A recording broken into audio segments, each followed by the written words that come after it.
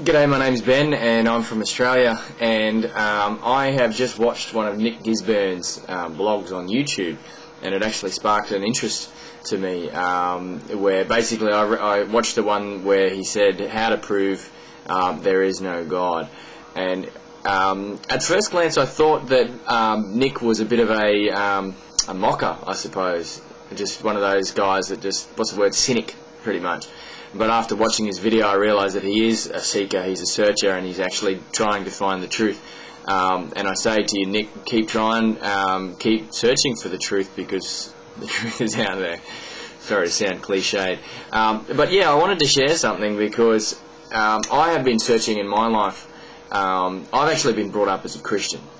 And I've gotten to the, I'm now 23 years old, and I've gotten to the age where I actually want to know why I believe what I believe. Because in reality, I've been brought up in the Christian faith.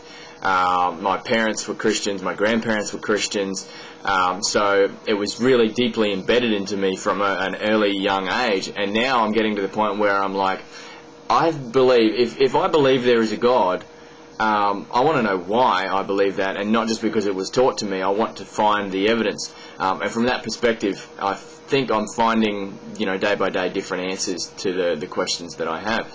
Um, I read a book which has actually really helped me, and which is um, William A. Dembski. It's called Intelligent Design. In, re- in, reality, I haven't actually read the whole thing. I've only read the first half of it because it's really, it's actually tough going. Um, but just the the first chapter um, flipped me out a bit, where he basically goes out to prove scientifically how. Well, actually, not even that. He comes up with an algorithm um, scientifically so that you can define whether something has intelligent design. That can be any given object whatsoever. Um, and I thought I would share that with you. So basically, this is it. How do you decide whether something has intelligent design? The algorithm is complex specificity or specified complexity. Uh, it has to be complex and it has to be specific. Um, and I'll explain myself. For instance, um, I've, I've got some um, Scrabble pieces here on, on my desk that I'm going to show you. Um, in fact, I'll do it now. Have a look. Okay, A, N. Right, so those two letters, um, you know, they are specific. We can we can say, okay, do the question is, do they have intelligent design? Have they been put there by an intelligent entity? Um, a N, they're specific. Yes, they spell a word, and, but it's not a very big word.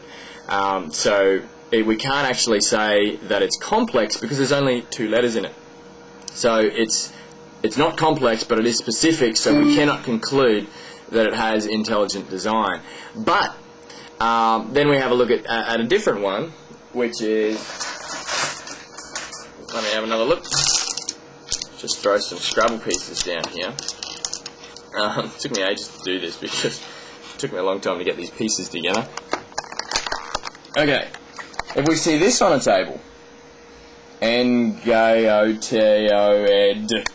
alright, now we can, we can conclude that um, those Scrabble pieces are complex because there's 1, 2, 3, 4, 5, 6, 7, 8, 9, there's 10 of them, okay? Uh, so they're complex. Um, but are they specific? No, they don't spell anything, they don't mean anything, so we cannot conclude that they are complex and specific. They aren't intelligently designed. We can't conclude that. They might be, but we can't conclude that scientifically.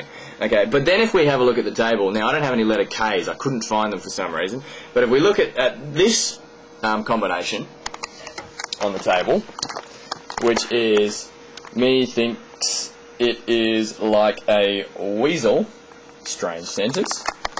I didn't have any letter K's, that's why they were the blanks, because I couldn't find them, it took me ages. Um, but me thinks it is like a weasel. Okay, there's 1, 2, 3, 4, 5, 6, 7, 8, 9, 10, 11, 12, 13, 14, 15, 16, 17, 18, 19, 20, 21, 22. There's 23 combination, uh, 23 letters there, um, and so that we can definitely say that they are, that that is actually a complex thing because there's 23. Now, there's 26 letters in the alphabet, so if you went to, how many was there, 23? Uh, I'll just, uh, okay, there was 23 letters, 26 letters in the alphabet. You times that by how many combinations there possibly are. It's like 23 by 26 compounding.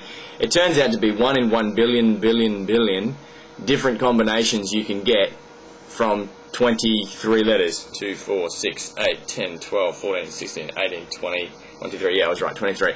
There's 1 in 1 billion, billion, billion. You can do the maths on that. 26 letters, 23 different, whatever they're called, 1 in 1 billion, billion, billion combinations. So it's definitely a complex thing. And it's specific because it spells not only words but a sentence. Methinks it is like a weasel. So we can actually safely assume that because it's complex and it's specific, we can say it has intelligent design. Now what am I getting at? That is simply giving you the code and the algorithm so that you can understand how to get how to define whether it's got intelligent design. So if we were to use it on a, a tennis ball or any other given object, you can do the same sort of thing, or a spoon.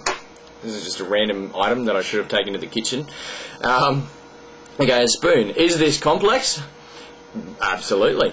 Um, you know, look at the look at the way that it's shaped. It's curved. It's it's um, not something that could be just fallen together um, easily. Anyway, uh, so it's definitely complex. Is it specific? Absolutely. You can look at it. It's got specific designs on there. Um, it serves a purpose. So it's complex and it's specific. You can look at a spoon if this was sitting in the bush, you would easily look at it and say, wow, that was designed. Um, what is that doing there? That wasn't just a fluke. It's complex, it's specific, it has intelligent design. Then you take the human hand, for instance. Okay, if I was to get a whole heap of dirt, scrunch it up together, throw it at the wall, if I was to do that a trillion, trillion times, um, I'm pretty sure you would say to me, pretty much every time you're going to get a lump of dirt on the floor. Um, what are the chances for me to get that dirt, throw it at the wall, it, and it falls down on the floor and becomes a human hand? Not very likely. Possible? Maybe in one in trillion, trillion, trillion, trillion, trillion. I'd run out of videotapes um, saying trillion, trillion, trillion so many times. Um, it's possible, but so unlikely that we can safely assume that it's just never going to happen. Right? Your hand is complex and it's specific there's there's skin, there's nails, there's fingers, there's um, blood, there's all, all that stuff, and it's all working together. It's very complex, and it's working together to be your hand. It serves a purpose. It's a specific purpose. You, your hand, and you are complex and specific. You've been intelligently designed. Okay, so now I've safely, I believe, proven scientifically and shown you how that that you can safely say you have been designed. Um, whether I say who has designed you, that's a different question entirely. But for starters, you have been intelligently designed. You have been created. There is a God. You can't be an atheist if you ask science to prove if there's a God, and it does. I just did. I believe. But um, if you can if you can logically and prove me wrong, I'm very willing to listen. Love to hear your thoughts.